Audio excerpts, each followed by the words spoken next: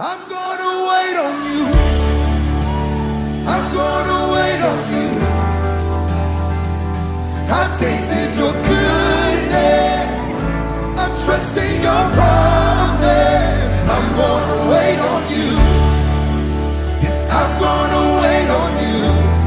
Yeah. I've tasted your goodness.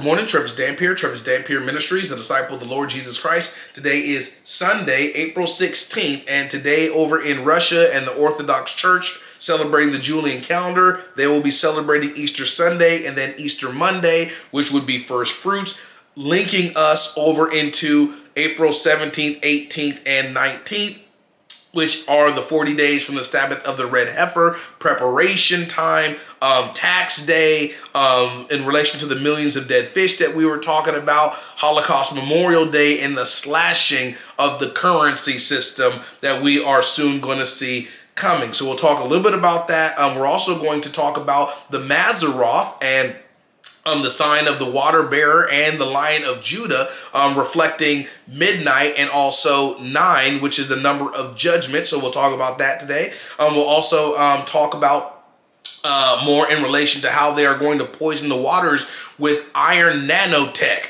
Um, Daniel's uh, prophecies coming into play once again, the Iron Age that we are seeing, and they are surely even going to put iron in the water, which relates to the prophecy of how the waters are going to be destroyed and how the waters are going to turn into blood. Stuff is way too sensitive for YouTube, so please click the Rumble link below, and I will see you there. Shalom, love y'all. Jesus Christ surely loves you dearly. Click the Rumble link below. See you there.